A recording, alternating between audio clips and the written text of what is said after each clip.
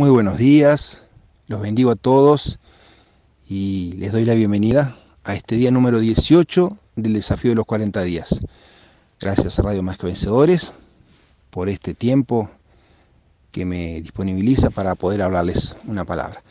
Bueno, los que ya me han escuchado eh, hablar sobre los que les voy a hablar hoy, eh, se van a dar cuenta que es, es algo que considero muy importante, por eso se los quería traer nuevamente también como parte de un desafío. Eh, el Eterno nos ha mostrado repetidas veces, repetidas veces, que no importa cuánto nos esforcemos para crecer, si en nuestro hogar, en nuestra familia, en nuestro entorno hay discordia. El ejemplo más común es la pareja, donde por más que tengamos la misma fe y a veces aún cuando no la tenemos a veces las cosas parece que van mejor, ¿no? Pero imagine el caso de una pareja donde siempre hay discusiones, donde les cuesta mucho hacer algo de común acuerdo, donde uno le recrimina constantemente al otro las cosas, eh, no tenemos una atmósfera de paz, no tenemos tranquilidad y las cosas no van para adelante. Y no se los estoy diciendo como un simple consejo porque me parece que es así se los estoy diciendo porque lo he vivido. Muchas veces eh, en mi casa eh, me ha pasado de que no nos entendemos bien con mi esposa y ya aprovecho para dar gracias al Eterno porque esos problemas son problemas del pasado y los que quedan son muy poquitos, pero nos ha pasado de vivir tiempos donde parecía que uno siempre le encontraba algo mal a lo que el otro decía en vez de apoyar una idea, aunque pareciera un poco loca, siempre le veíamos un problema. Y no habíamos entendido que muchas veces el vivir una, una relación eh, efectiva o una, relación que realmente dé frutos, eh, tiene en parte ceder y en parte escuchar. Principalmente escuchar retener un poco nuestra lengua, no ser tan rápidos para criticar, no ser tan rápidos para decir, no, no, no, eso no. Escuchar todo, la idea entera. Y si realmente nos parece que no, no vamos a ser hipócritas, pero tenemos que ser sabios como hablamos, sabios como decimos las cosas, sabios como nos expresamos, no dar lugar a la ira, no dar lugar al enojo. ¿Por qué? Ya nuestro papá lo mostró númeras y númeras veces. El hogar, la familia, es la columna que sostiene esta congregación. Es la columna que da fuerza, es la columna que permite que avance. Y si no hay firmeza, no hay solidez, entonces no hay cómo ser uno solo, no hay cómo movernos en conjunto como, como nuestro papá nos pide.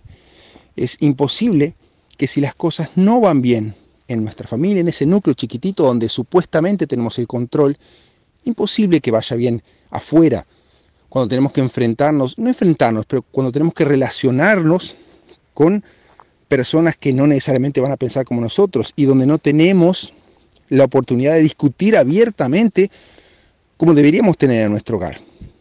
Entonces, como les decía, ya viví muchas veces en el pasado situaciones en las cuales eh, las cosas no funcionaban, los negocios se volvían para atrás, eh, en mi caso, que tengo una empresa con varios clientes, eh, clientes eh, no cerraban las propuestas, clientes que se iban y no entendíamos, bueno, en realidad no entendíamos porque no queríamos. Porque cuando nos pusimos a analizar, siempre que pasó eso fue cuando no había entendimiento, cuando uno no sabía escuchar al otro, cuando uno no apoyaba al otro. Y a veces hay que apoyar aún en las ideas locas.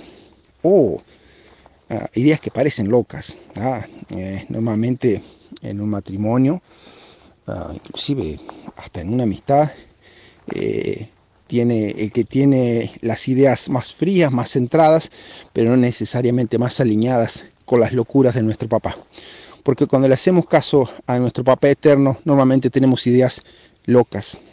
Y esas ideas locas muchas veces nos llevan a grandes bendiciones. Y digo muchas veces porque cuando no nos llevan fue porque es alguna cosa que nosotros los desviamos, porque siempre que seguimos todo lo que nuestro papá nos muestra es para bendición, es para victoria, es para prosperar, es para crecer.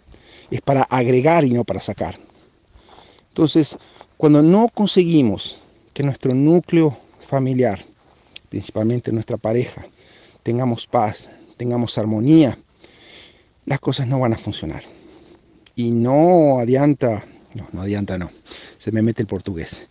Y, no importa que reclamemos con nuestro papá eterno y digamos, pero Señor, ¿por qué esto? ¿Por qué aquello? Porque nosotros sabemos que no estamos bien, no estamos haciendo las cosas como debemos hacerlas. Entonces, hoy mi desafío es el siguiente. Aprendan a escuchar. Aprendan a escuchar. Sean tardos para hablar. Que su lengua no castigue, que su lengua no lastime, que su lengua edifique, haga crecer. No importa que a veces tengamos que escuchar una locura. Bendita locura, bendita locura. Les digo que en mi relación muchos deben conocer a mi esposa Alexon. Ella es la más loca y yo soy el más cuerdo. Pero ¿saben qué? Me encantaría ser el más loco. Me encantaría ser el que tiene esas ideas increíbles y que piensa en esas cosas que parecen imposibles, pero que nuestro papá las hace posibles. Bueno, eh, yo creo que soy un poquito más loco que lo que era antes. Y gloria a Dios por eso. Pero los desafío a eso. Que tengan un día entero en el cual pueda mirar a su pareja, escucharla, entenderla, apoyarla, morderse, aunque piensen, no, pero en esto yo tengo la razón, no importa. Con nuestra razón muchas veces herimos. Eh, como uruguayos deben conocer una frase, con la verdad ni ofendo ni temo. ¿Saben qué? Con la verdad ofendemos muchísimo, sí. Ofendemos muchísimo. Porque nuestra verdad puede ser una verdad para las condiciones que vivimos aquí en la tierra, pero no tiene ningún valor cuando estamos hablando de realidades espirituales, de milagros, de cosas sobrenaturales. Entonces, a veces eh, nuestro pie muy puesto en la tierra, en vez de ser una maldición, es una, en vez de ser una, una bendición, es una gran maldición. Tenemos que aprender entonces a ser un poquito más locos y aprender que nuestro papá ama esas locuras, ama que le creamos, pero sobre todo ama que esa base que él creó, que después es la columna de la congregación, la columna de la comunidad, sea firme, sea fuerte. De nada sirve que yo muestre una cosa para afuera, pero dentro de mi casa me peleo con mi esposa, con mi esposo, vuelan los platos, no hay entendimiento, no hay amor.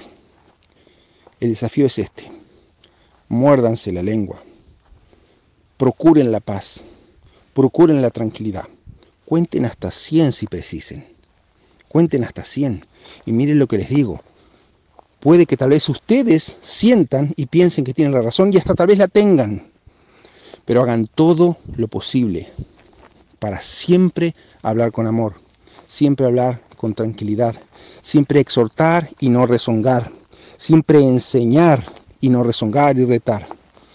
Y van a ver la diferencia absurda. Van a ver que las cosas que no funcionaban pasan a funcionar. Van a ver que el clima, la atmósfera cambia de una forma sobrenatural. Van a ver que el amor, cuando toma cuenta del lugar, cuando se apodera de un lugar, es más poderoso que cualquier dinero, que cualquier cosa. Y eso mueve el mundo espiritual. Y cuando el mundo espiritual es conmovido por nuestro amor, las cosas funcionan. Las puertas que estaban cerradas se abren. Los negocios que no funcionaban, funcionan. Aquella, aquel viejo problema que me perseguía se soluciona de forma totalmente increíble. Ese es mi desafío para el día número 18. Los amo, los bendigo y declaro que cada uno de los que escucha estos días de desafío va a tener un crecimiento. Los amo mucho.